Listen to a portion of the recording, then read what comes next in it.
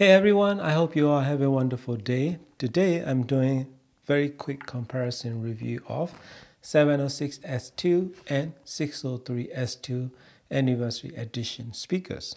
They both retail for $2,000 for pair of these. They are very much comparable, probably except for the bass performance. Overall fit and finish and build quality, they are very good. 603S2 will have a little bit better bass response compared to 706S2. When I'm doing the back-to-back -back comparison of these two speakers and you know using a lot of my favorite music and trying to listen a lot of different kind of uh, music and what really comes to my mind was how good this 706S2 is overall skills and dynamics and soundstage. Every bit is comparable yet better stereo image compared to this 603S2 in my room.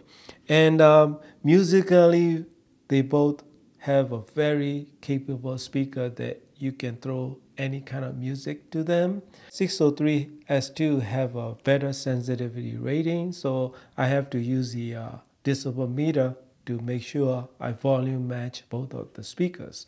Only that's the only downside of 706S2, less sensitivity rating. They have their house sound signature with very vivid, spacious, and very wide soundstage with clarity and detailed sound reproduction, regardless of which one you choose. But 706S2 have a more impressive sound signature because it has a more refinement, a little bit more clarity in upper mid-range to high frequency transitional area. And overall mid-range is a little bit more clearer. Vocals are a little bit more realistic compared to this. Probably that's due to the uh, different driver because this is the uh, uh, aluminum uh, carbon coated dome tweeter. This is just the uh, regular double dome aluminum tweeter. So that's where the differences are. And regardless of uh, it having a dedicated mid-range driver, this one is totally shows the uh, class. I mean, overall scale dynamics, it every bit is comparable. Yet it has a better refinement in vocals and human voices and also mid-range clarity and upper mid-range uh, detailed sound reproduction with better highs. Better highs meaning it has a more separation between the notes and more spacious sounding compared to this 603S2 high frequency reproduction and the placement is not as finicky as the, uh, some other speakers. You can place them decent location and they will give you really good sound. And some might say the 603S2 is better buy because better lower frequency response and it doesn't need to put on the stand.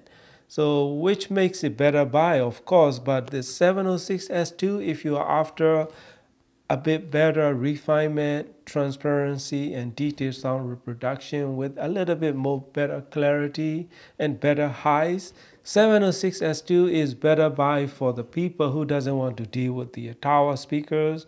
You know, it's easy to move around. You just, or if you already have a stand, you just put them on and just enjoy your music. And it will totally give you uh, musical pleasure with any kind of music. So 603S2 is very good, good all around speaker. You can use them anywhere like home theater, two channel listening, 2.1. You can throw any kind of music. They will give you very good dynamic spacious sound with good instrument separation and overall very musical soundstage and and very expensive too the soundstage is. And 706S2 is about the same except for that lower bass response.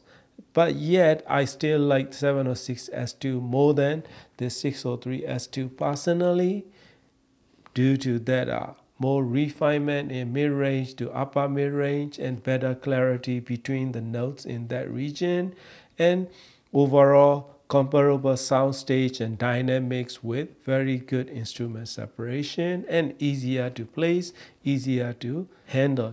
If you really like Bowers & Wilkins uh, sound signature, these are both great buys. You just need to choose them based on your need. And if you have a smaller space, 706S2 is better buy. If you have a better setup, let's say if you have a really good amplification, go with 706S2. 603S2 is a little bit more forgiving to pairing components compared to 706S2 because they can sound really good with the uh, regular AV receiver. 706S2 it will totally shows the pairing component so that's where the difference is overall refinement I still like 706S2 after all these speakers and after even this 603S2 if I don't have any speakers, I can live with 603S2 as well because this is a very good sounding, very impressive sounding speaker for $2,000 for a pair of these towers.